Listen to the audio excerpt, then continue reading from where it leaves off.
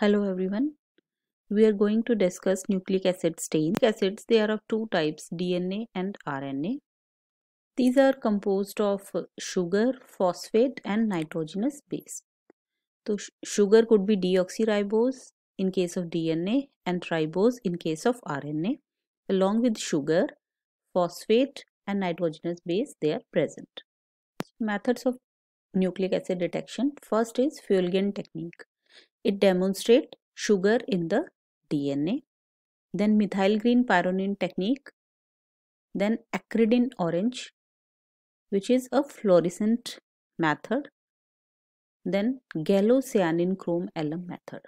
So four techniques Feulgen technique, methyl green pyronin technique, acridine orange method or fluorescent method and gallocyanin chrome alum method. Coming to the first technique that is Feulgen stain or Feulgen technique. Feulgen stain it selectively binds to the DNA. So the principle behind is ki the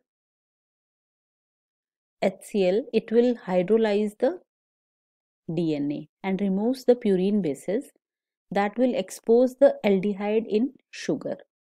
So that exposed aldehyde it will react with the Schiff's reagent to give the colored reaction. In case of RNA, the RNA it cannot be hydrolyzed by HCl. So Feulgen stain will basically stain the DNA.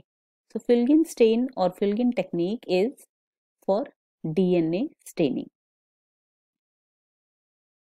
Feulgen stain will stain the DNA red to purple color and give cytoplasm color green.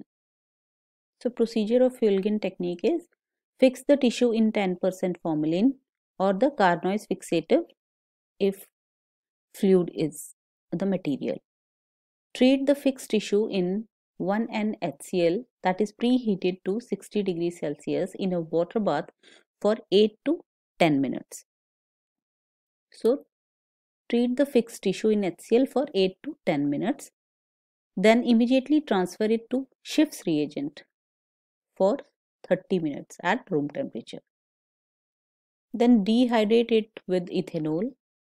Then clear with xylene and mount the slide with DPX. Second important stain is methyl green pyronine stain.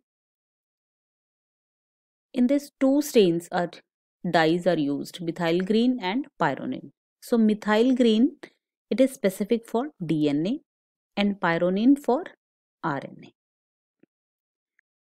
NH2 of the dye it reacts with the phosphate of the DNA to give its color reaction.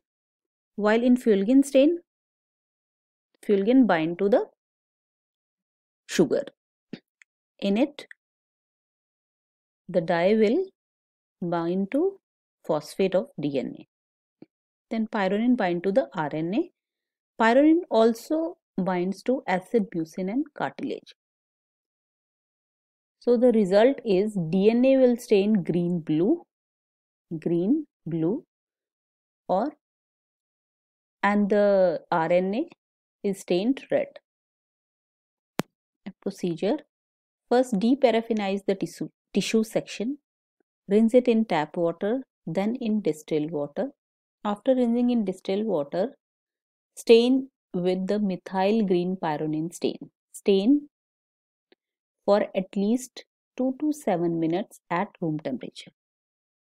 Then dip the slides 1 to 2 times each in two changes of distilled water. So two jars of distilled water and in each jar 1 to 2 dips.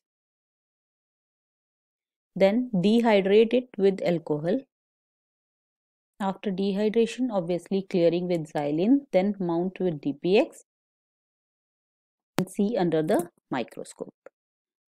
So uses of uh, this technique is qualitative and quantitative estimation of DNA and RNA Methylpyronine stain, it also stain plasma cells in the tissue sections. That will stain red. Cytoplasm will stain red. That's all in nucleic acid stains. Thank you.